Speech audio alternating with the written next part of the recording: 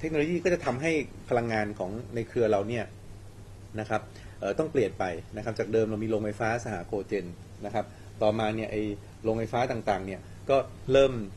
มีปัญหากันมากขึ้น ไม่ว่าจะเครื่องเก่านะไม่ว่าจะที่เราได้ยินแก๊สธรรมชาติจะหมดไม่หมดต้องนำเข้านะครับ เพราะฉะนั้นความมั่นคงทางพลังงานของประเทศไทยเนี่ยก็จะไม่หยุดอยู่แค่โรงไฟฟ้า ก็จะไม่หยุดอยู่ที่การไฟฟ้าฝ่ายผลิต มันจะมาอยู่บนหลังคาบ้านท่าน หลังคาโรงงานหลังคาโกดังนะครับ เราเองก็ลงทุนในโซลาร์แผงนะครับ ก็คือติดโซลาร์นะครับอันนี้เดี๋ยวพี่สนธยาคงอธิบายมากขึ้น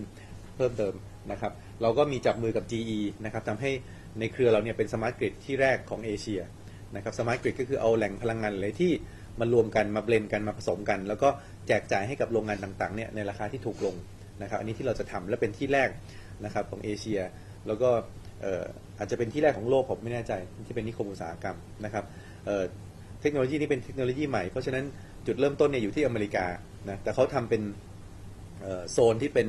ทหารเรือ เพราะฉะนั้นมันก็เป็นกริดก็คือสายส่งเนี่ยเป็นของกองทัพ มันก็สั่งอะไรทำได้เลย แต่ประเทศไทยเนี่ยเนื่องจากโชคดีมากเครือสาพัฒน์เราทำสวนอุตสาหกรรมเนี่ยนะครับเป็นที่แรกของประเทศไทยที่สายส่งเสา ไฟต่างๆเนี่ยเป็นของเอกชนแห่งแรกแห่งเดียวนะเราก็เลยทำอันนี้ได้นะครับก็ร่วมกับ GE GE เราก็รู้แล้วเป็นค่อนข้างอันดับต้นๆของโลกนะครับโดยเฉพาะไอ้บริษัท GE Electric เนี่ยนะครับ General Electric หรือว่า GE Digital นะครับที่เขาขายเครื่องปั่นไฟขายไอไอ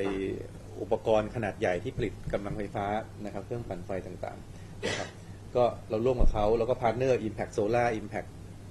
Energy นะครับถัดไปเนี่ยก็เป็นเรื่องที่ สนุกอีกอันหนึ่งจะเป็นเรื่องของการส่งเสริมการศึกษาคือเรื่องของการตั้งโรงเรียนนานาชาตินะอันนี้เครือสาพัฒน์ก็จะเป็นครั้งแรกที่กระโดดเข้าไปทำโรงเรียนนานาชาตินะครับค่อนข้างเป็นเกรดสูงนะคือเอ่อคือเราร่วมกับโรงเรียนนานาชาติ King College นะครับที่อังกฤษนะครับ ก็จะเปิดที่กรุงเทพนะครับโรงเรียนนานาชาติที่อังกฤษแห่งนี้เนี่ยก็ทุกคนก็จะมองว่าเป็นอันดับหนึ่งอันดับสองอันดับสามในเชิง academic คือวิชาการเนี่ยเขาค่อนข้างค่อนข้างมีชื่อเสียงนะเราก็จะมาเปิดที่ที่ดินเราตรงพระรามสามนะครับอันนี้ก็เป็น 4 เรื่องที่เรามีการเซ็น MOU ไปกับทาง partner เรานะครับ